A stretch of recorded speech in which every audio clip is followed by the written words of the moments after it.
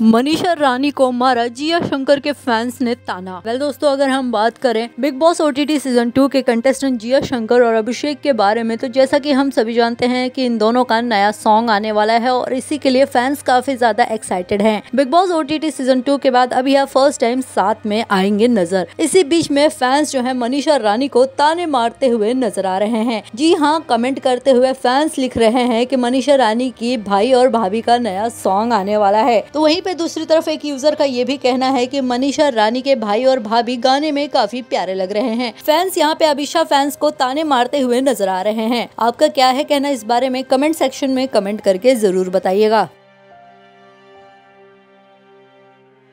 For top serials on sets to personal interviews and fun segments with actors, subscribe to Telebytes right away.